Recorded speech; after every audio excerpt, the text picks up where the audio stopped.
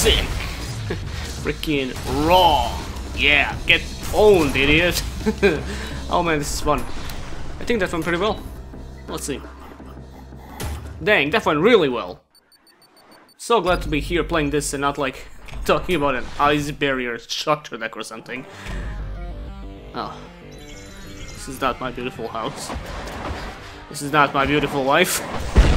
In 2019, if you had told me something like ice barriers are getting support next year, I would have taken it as a throwaway joke and at most imagined something pertaining to a retrain of Trishula. If you had told me they're getting a structure deck next year by beating out Cyber and Gustos in the OCG structure deck voting poll, I would have given you a wedgie and took your lunch money while calling you a dweeb or something. However, Destiny is a cruel old hag and as it so happens, it will occasionally weave the threads of fate into the structure deck freezing chains. On one hand, we are kind of in a Duel Terminal renaissance, with many archetypes present in the lore getting a sudden surge of support, regardless of the story being finished a long time ago. Something as plot significant as ice barriers getting some belated attention would make sense in this context, but on the other hand, they beat Cyber and Gustos? How does that happen? On all accounts, this should be a support report, but because this is one of the most intense updates to a deck's playstyle we've seen here since Vampires, and due to the archetype's lovely reputation, it's being given a slightly fancier show. Also, I'm sure this doesn't need any pointing out, but all these card names are tentative until the structure deck is released in the TCG, so don't be confused by the video in case the western release of their new synchro ends up with the name Trishula, the super cool dragon of the Nice Barrier. So as this is a quote-unquote fancier show, let's start off with the fanciest guy of the bunch. Frost Spirit of the Ice Barrier is a level 1 Sea Serpent tuner with 400 attack and 200 defense, and while you control another Ice Barrier monster, monsters your opponent controls lose 500 attack and defense. During your main phase, you can send one level 3 or lower Ice Barrier monster from your deck to the graveyard, and if you do, this card's level becomes the sent monster's level until the end of this turn. You can only use this effect once per turn. Frankly, this card could banish my entire deck face down when summoned, and I would still love it because it looks like this. I refer to this phenomenon as the Tsuchinoko effect. You might think the stat reduction is meaningless, and you'd be right for the most part, but depressingly enough it's one of the better stun effects the new ice barriers have in store. I'll leave it up to your imagination to think what the other ones are like before we get to them. Anyway, Frost Spirit is okay, and thankfully not an actual spirit monster, or this section would have been spoken in a radically different tone. It's a tuner with light level modulation and graveyard setup, which are both great features for a monster you tend to special summon off other monsters, with the slight downside that it hampers itself by the level 3 limitation. Even with the new support, Ice Barriers still have problems with accessing their higher level monsters, and a graveyard dump followed by a revival would have circumvented the issue, but they were clearly terrified of Royal Knight just wrecking the meta into pieces. Run 2 or 3 of these, just for the love of god, try not to waste your normal summon on it. The only level 2 among the new support is Attendant of the Ice Barrier. This one brings them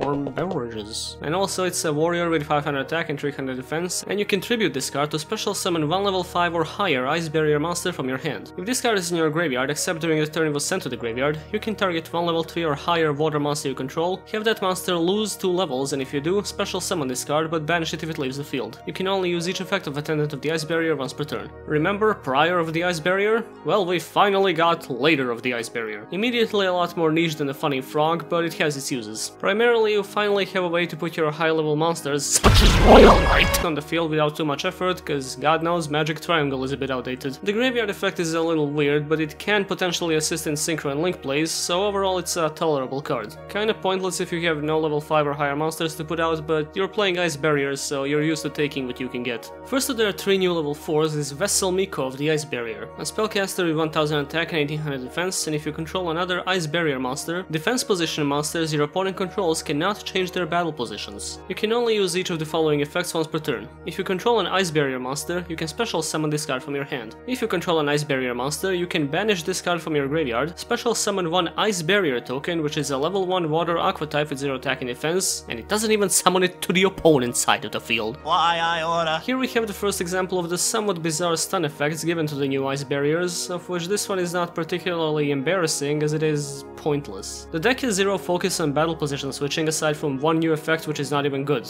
I mean, I know why the stun effects are like this, and it's not a good reason, but I'll give you an image as a hint. The other two effects are actually fine. It's simple field building and not much else, but this deck was sorely lacking in swarming considering they need field presence to get their effects off, so having a monster that's always present is great. Naturally, you can also use it as extra deck material, as it's a level 4 body that's optimal for synchro, Xyz and link plays, and it leaves a token which you can then use for further plays. I'd say play as many as you can. That fox looks really freaking weird though. Miko, you can't convince me that thing is not taxidermied. The second level 4 in the lineup is Mirror Master of the Ice Barrier. Another spellcaster, this one with 1700 attack and 1000 defense, and while you control another Ice Barrier monster, your opponent cannot tribute summon. You can only use each of these effects once per turn. You can discard one card, special summon one Ice Barrier Tuner from your deck, also you cannot special summon monsters for the rest of this turn except water monsters. If you would activate an Ice Barrier monster's effect by sending a card from the hand to the graveyard or discarding, you can banish this card from your graveyard instead of one of those cards. Wow, where was this stun effect during Qlis, Monarchs and True Dracos? And nothing else. God, it doesn't even say the opponent can't tribute cards at all, it just prevents tribute summons. H how are you outclassed by a 19-year-old trap card? Is this about the Ice Coffin token? Because Royal Knight already has that thing secured, don't you worry about it. Again, we have another moment of prioritizing lore over sensible card effects, and this one is not even the worst among the bunch. But on the other hand, it summons a tuner from the deck. Bam bam bam bam bang Along with Frost Spirit, a good target to summon is Defender, which has a stun effect that's relevant surprisingly often, and is still a great level for synchro plays. Aside Aside from this phenomenal effect, it also replaces the cost of a few of your cards, primarily Strategist, Brionac and Gungnir, barring the fact that it's nearly 2021 and if you're summoning an Ice Barrier Synchro that's not Trishula, you're probably just roleplaying. So it's safe to say you should run 3 of these, naturally because it completely shuts down Earthbound Immortals and no other reason. The last level 4 among their new monsters is Mirror Judge of the Ice Barrier. You're gonna wanna clench your teeth for this one and it's not because of the cold. It's a warrior with 1800 attack and 900 defense, and while you control another Ice Barrier Barrier monster, your opponent loses 500 life points each time they pay life points to activate a card or effect. You can only use each of the following effects of Mirror Judge of the Ice Barrier once per turn. You can target up to 2 Ice Barrier monsters in your graveyard and up to 2 cards in your opponent's graveyard, shuffle them into the deck. If you control an Ice Barrier monster, you can banish this card from your graveyard, then target one attack position monster on the field, change it to defense position. For those who were concerned that the direction Konami was taking the new Ice Barrier support was far and away from the olden days of Royal Knight, fear not! They brought them right the fuck back down to their roots with Mirror Judge and its incomprehensible array of effects that serve no practical purpose whatsoever. The life point drain is sure to give the Evil Eye player at your locals a bout of discomfort for a solid turn and a half, the recovery effect is outclassed by Caravan which came out 7 centuries ago, and the battle position shift not even being a quick effect is the most embarrassing thing I've seen in my life. This one is up there with Flamvell Magician in the high echelon of lore-influenced nonsensical effects which leave you wishing the card was actually a normal monster to save yourself the mental damage of reading it. Go ahead, turn the Steel Swarm Link monster to defense position. Do it! It's what you were made to do! Their last new main deck monster is General Wayne of the Ice Barrier. If you're confused about the name, this would be X-Saber Wayne who was just really salty about the outcome of the TCG voting poll and decided to defect to the archetype that was actually getting support. Hey, if you can't beat them, join him. He's a level 5 warrior with 2100 attack and 400 defense, and any spell or trap sent from the field to your opponent's graveyard is banished instead. If your opponent controls a monster and you control an Ice Barrier monster, you can special summon this card from your hand. If this card is normal or special summoned, you can add one Ice Barrier spell or trap card from your deck to your hand. You can only use each of these effects once per turn. The stun effect is interesting, since it doesn't seem to be built exclusively around lore and has actual meta usage, even though it's pretty limited as it is. The summon condition makes the card dead on turn 1 unless you have a Attendant, or Royal Knight and an Ice Coffin token of course! But the back row search is good because this deck has some surprisingly good spell cards. He seems bricky, but the deck still imposes a lot of annoying restrictions on his monster searching, and the only convenient way to fetch him is Medallion, so run him and his Butter Knife at 3. Good one, Wayne the Ice Johnson. Well, I hope you enjoyed all the advantage you were generating off all these cards, cause you're about to spend all of it on this.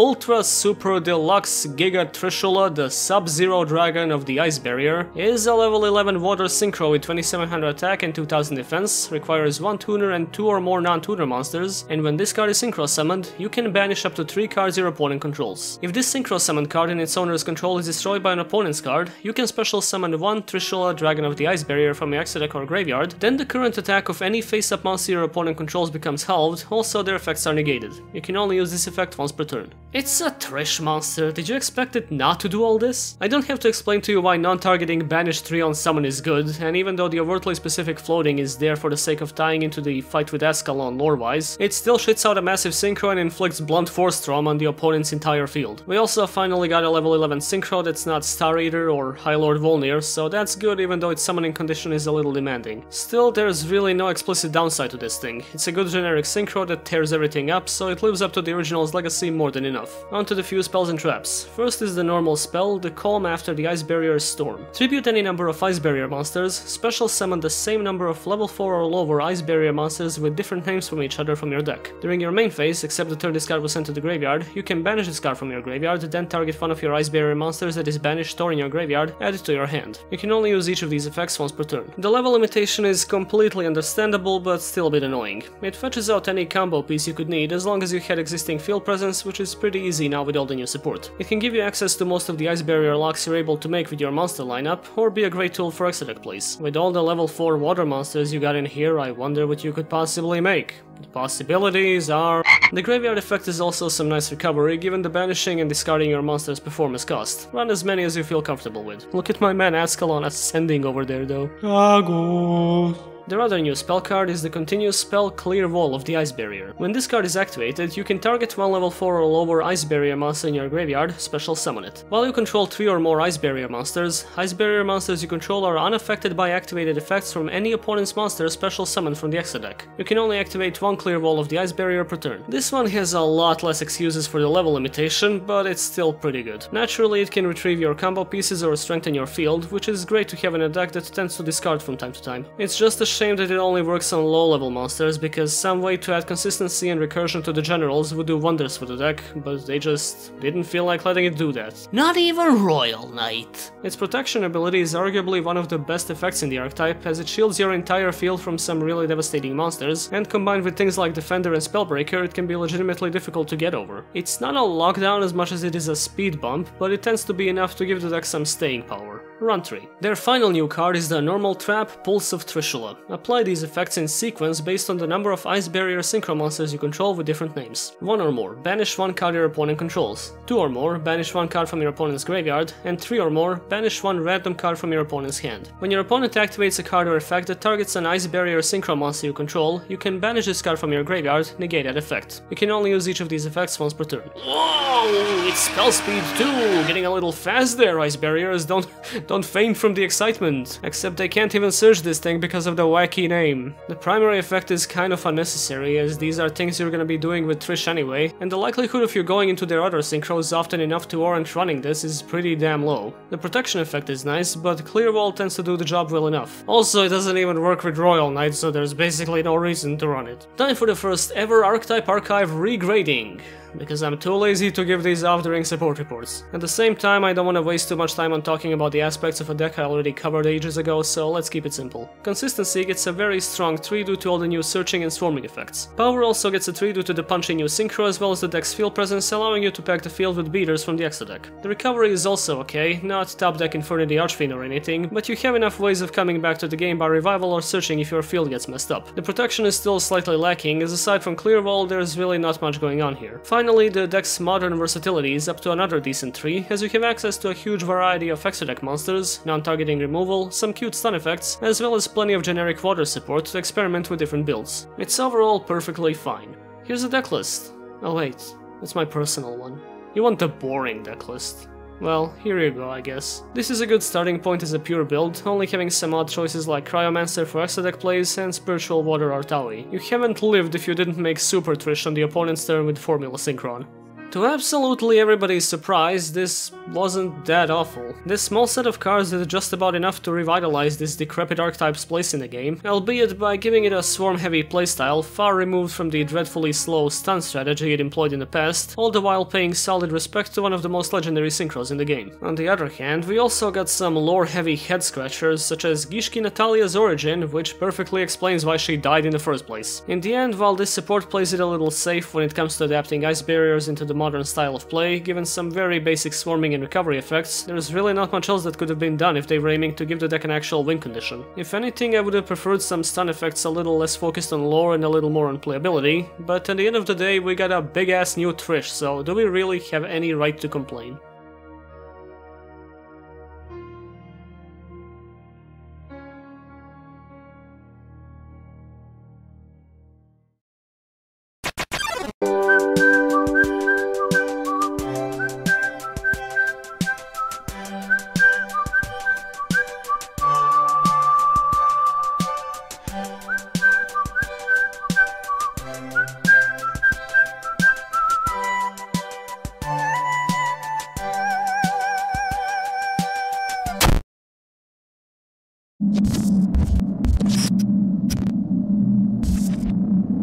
I'm okay.